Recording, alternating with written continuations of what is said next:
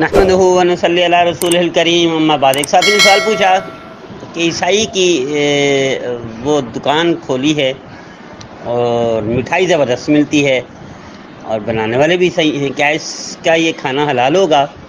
जी हाँ ईसाई अगर मिठाई बनाता है तो ये खाना भी हलाल है, इसका ख़रीद, ख़रीदना भी हलाल है। इल्ला ये कि वो जानबूझ कर कोई हराम हराम शामिल ना करे, वरना हलाल है खाना। इसी तरह एक साथी ने सवाल पूछा कि हिंदू की ख्वाहिश है हिंदू बच्चा है, वो कहते हैं, मुझे कुरान पढ़ाओ।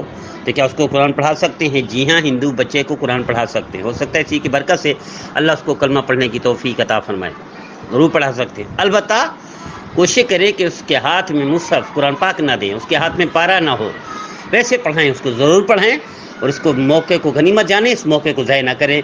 हो सकता है, वो बच्चा पूरे ख़ानदान के हिदायत का और इस्लाम का ईमान का ज़रिया बन जाए। इसी तरह एक साथी ने सवाल पूछा कि एक इदारा है, वो सिर्फ़ कुरान पाक का तर्जमा छापता है।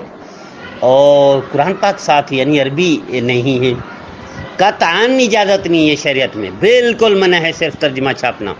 और मैंने ख़ुद देखा एक तर्जमा, मुझे याद है बचपन में।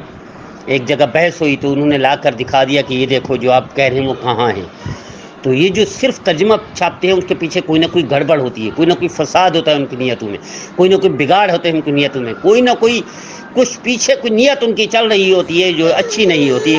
मुझे उम्मीद है मेरे भाई, मेरे बहनें हमारे हर पैगाम को सुनेंगे और सुनाएँगे, खुद भी अमल करेंगे, दूसरों को भी कराएँगे।